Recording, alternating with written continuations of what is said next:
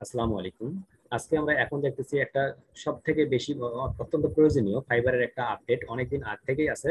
তবে যারা নতুন করে প্রোফাইল করতেছে তাদের কাছে নতুন।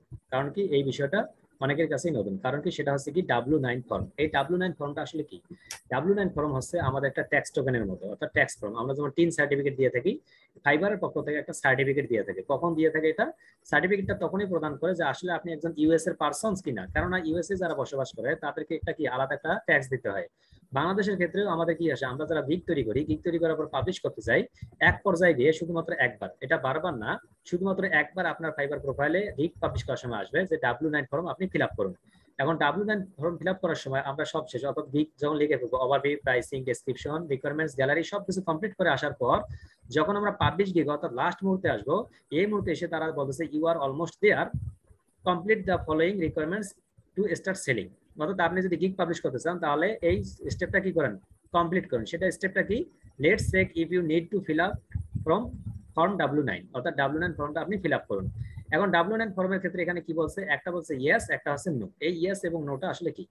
দেখুন, এখানে একটা লেখা আছে complete the check what is what is a US person as defined by the US tax authorities ওই যেটা বললাম ট্যাক্স টোকেনের সম্পর্কে, যে আসলে যদি আপনি ইউএস এর পারসন হয়ে থাকেন, তাহলে আপনি এখানে ইয়েস দেবেন।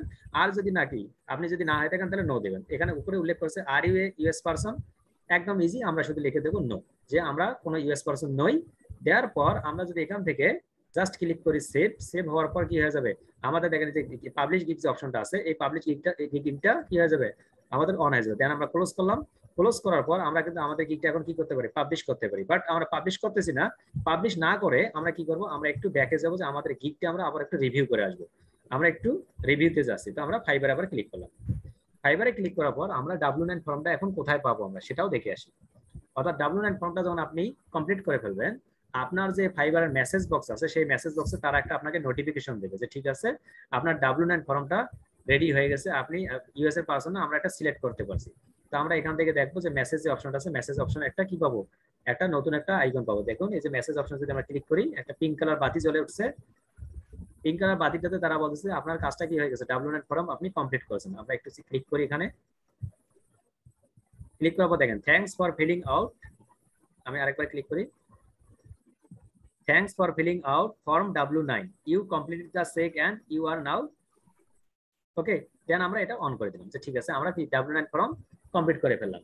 এখন আমরা কি করব? আমরা এখন আমাদের গিকটা পাবলিশ করব। গিকটা পাবলিশ করার জন্য আমরা এখন পাবলিশে যাচ্ছি। অর্থাৎ ডাব্লু নাইন ফর্ম এইভাবে কমপ্লিট করবেন। অনেকেই প্রশ্ন করে, আমাদের ভিডিওর নিচে অনেকে প্রশ্ন করছে, ভাই ডাব্লু নাইন ফর্ম কি এবং কীভাবে করতে হয়? এই জন্য আমি ছোট্ট আকারে আপনাদের সবাইকে বলে দিলাম। ওকে